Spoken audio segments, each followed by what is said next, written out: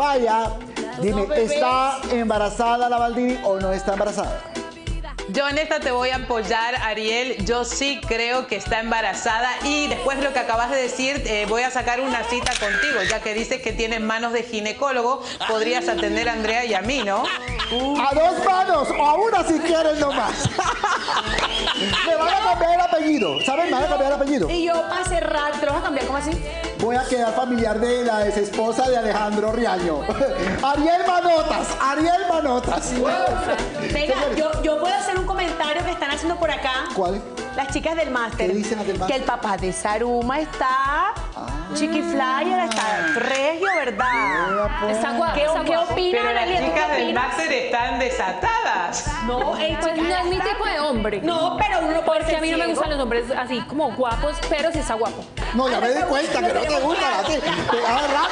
Yo tengo que ser la guapa de la relación.